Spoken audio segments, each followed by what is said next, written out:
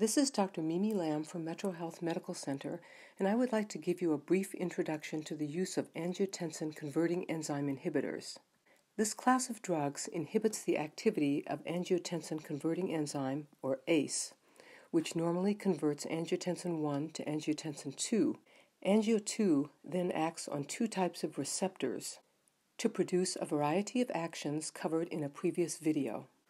The major uses of ACE inhibitors, which have names like lisinopril, enalapril, and captopril, are to treat hypertension, to decrease proteinuria, to decrease renal cell proliferation, apoptosis, and fibrosis, to treat heart failure, and to reduce myocardial hypertrophy, fibrosis, and ventricular modeling. Let's look briefly at each of these actions. By reducing systemic vascular resistance, ACE inhibitors are able to effectively lower blood pressure.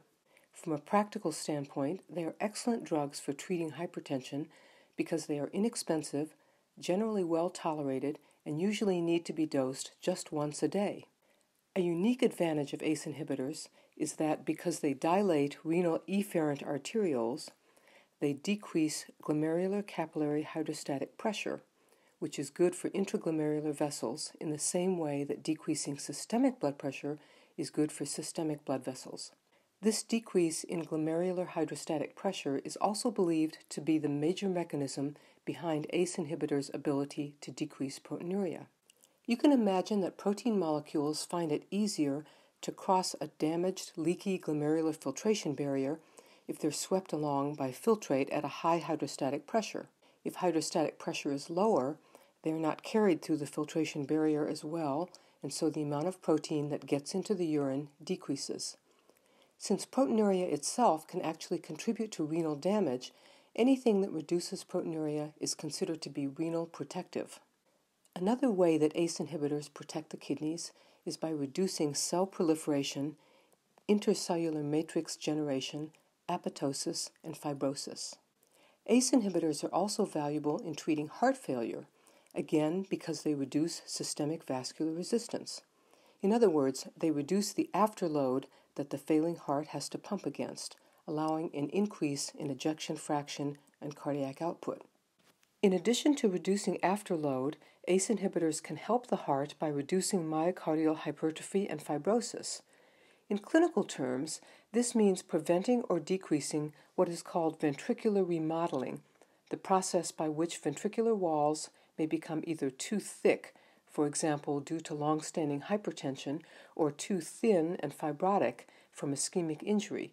Both of these types of changes can impair myocardial function and contribute to heart failure. On the other hand, the same properties of ACE inhibitors that make them such effective therapeutic agents can also result in unwanted and sometimes harmful side effects, and we will go over several of them which are listed here. For example, the same decrease in glomerular capillary hydrostatic pressure that protects intraglomerular vessels and reduces proteinuria can be enough to significantly reduce GFR, which can be bad, especially in patients whose GFR is already low because of chronic kidney disease.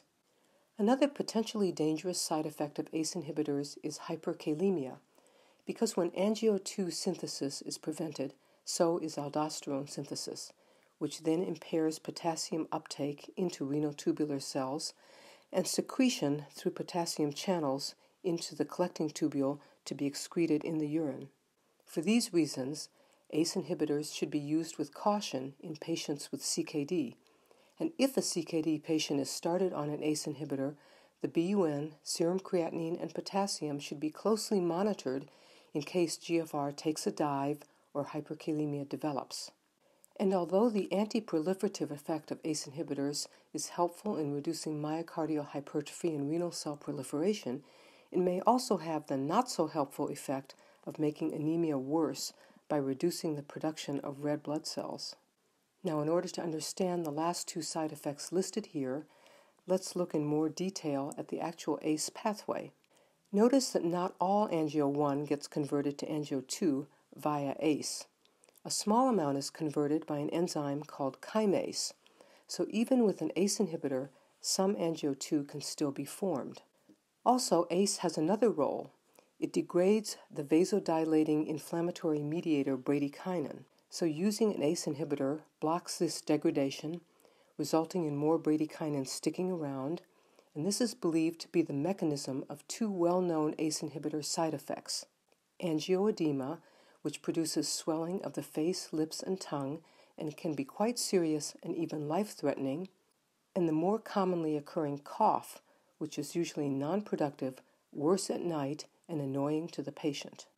Finally, let's look at how ACE inhibitors can interact with angiotensin receptor blockers, or ARBs, and think about what happens when they are used together. Note that the suppression of angio2 synthesis results in the loss of its usual negative feedback on renin, so renin levels rise when an ACE inhibitor is used.